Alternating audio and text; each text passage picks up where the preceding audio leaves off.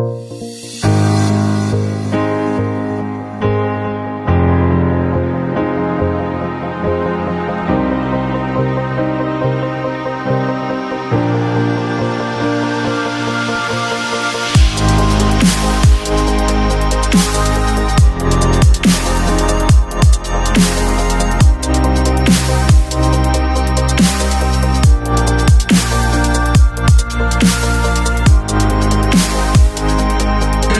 Cette année c'est votre année, ça va être ouf, vous attend.